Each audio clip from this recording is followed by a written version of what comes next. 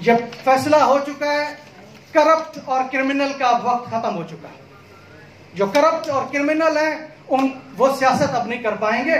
मैं जनाब चेयरमैन, शायद मुझसे बहुत से लोग, बहुत से मेंबर आज इस बात पे नाराज़ हों, लेकिन मैं आपसे गुजारिश करने जा रहा हूँ इस बात पर। कि जो आपने तरक्याती मद में मेंबर्स को डेवलपमेंट के फंड्स दिए, कम या ज़्यादा वो एक अलग बहस है। मुझे तेरह लाख छियासी हज़ार दिए आपने इसी तरह बाकी मेंबर्स को भी आपने तरक्याती मद में पैसे दिए हैं, लेकिन बहुत ज़्यादा इसमें करप्शन हुई है। लोगों तक मुंतकिली नहीं हुई। मैं आपसे गुजारिश करूँगा कि आप इस पर कमेटी बनाएँ, आप इस पर कमीशन बनाएँ। जितने भी लोगों ने काम किए हैं, उन पर कमीशन बनाए और उसकी मुकम्मल तौर पर जाँच पड़ताल होनी चाहिए। ये अवाम का पैसा है, ये किसी शख्स का, किसी फर्द का नहीं है।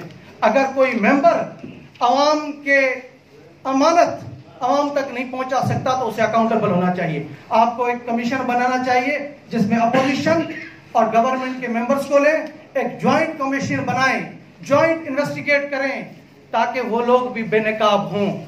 जो लोग मेंबर मुंतखब होकर आए हैं, या अवाम की नुमाइंदगी कर रहे हैं तो उनको कम अज कम अकाउंटेबल ठहराना चाहिए, ताकि आइंदा आने वाले जो भी काउंसिल हो, कम अज कम उसमें करप्ट और क्रिमिनल ना आए। कम अज कम वो लोग जो सियासत को इबादत या सियासत को खिदमत की बजाय सियासत पैसा बनाने के लिए कर रहे हैं, उनकी सियासत खत्म होनी चाहिए। अब ये वक्त खत्म हो चुका है।